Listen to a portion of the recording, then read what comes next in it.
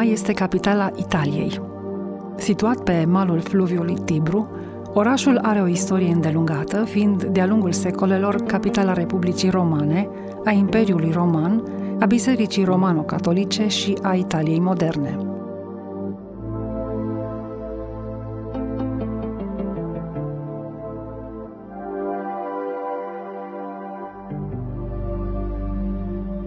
Roma, de asemenea, este un important centru turistic care fascinează atât localnicii cât și vizitatorii. Printre cele mai faimoase atracții se numără Coloseumul și columna lui Traian. Totodată, Coloseumul este unul dintre simbolurile Romei. Acesta este cel mai mare anfiteatru construit vreodată în Imperiul Roman. A avut inițial o capacitate de 60.000 de spectatori, după care a fost extins. Coloseumul servea drept loc pentru lupte între gladiatori.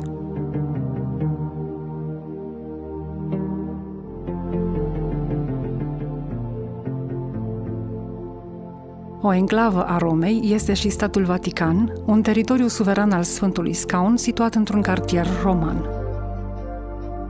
Vatican este cel mai mic stat din lume și totodată capitala singurei religii care are reprezentație în Națiunile Unite.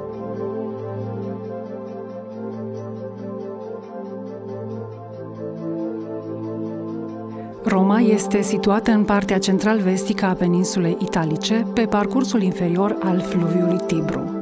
Ca alcătuire, capitala este împărțită în patru districte, 15 municipii și 155 de zone metropolitane.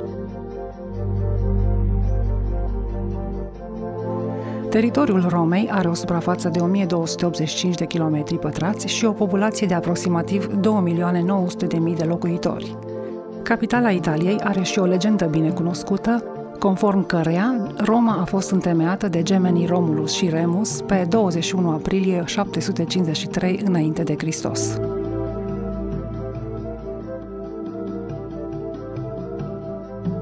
Dovezile arheologice sprijină teoria conform căreia Roma s-a dezvoltat pornind de la așezări pastorale pe dealul Palatin, construite în zona viitorului Forum Roman și care au stat la baza noului oraș în secolul 8 înainte de Hristos.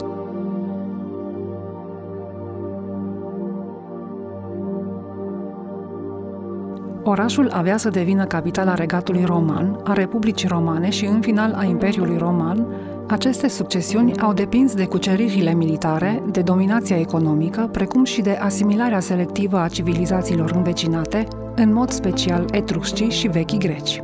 De la fondarea Romei, în 753 înainte de Hristos, orașul a rămas neînfrânt din punct de vedere militar până în 386 înainte de Hristos, când Roma a fost ocupată de celți, dar recuperată de romani în același an.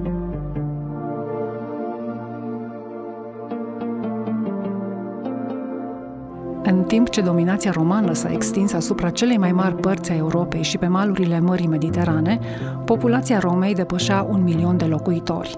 Timp de aproape o mie de ani, Roma a fost cel mai mare, mai bogat și mai important oraș al lumii occidentale din punct de vedere politic.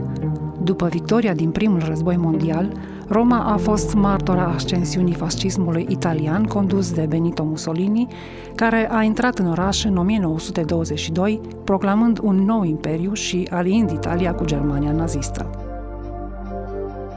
A fost o perioadă de creștere rapidă a populației de la 212.000 pe timpul unificării la peste un milion, această tendință a fost stopată de al doilea război mondial, timp în care Roma a fost afectată de bombardamentele aliaților și de ocupația nazistă.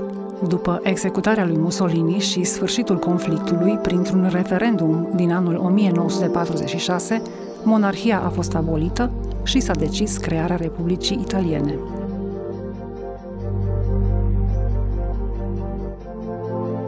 Roma a crescut spectaculos după război, fiind una dintre locomotivele miracolului economic italian din timpul reconstrucției și modernizării postbelice.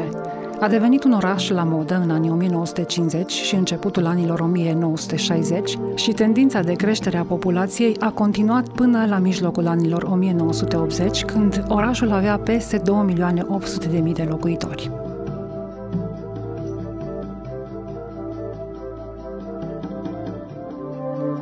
Roma este profund modernă și cosmopolită. Ca unul dintre puținele orașe mari ale Europei care a supraviețuit celui de-al doilea război mondial, relativ puțin afectat, centrul Romei rămâne renascentist și baroc în esența sa. Centrul istoric al Romei este pe lista Patrimoniului Mondial UNESCO.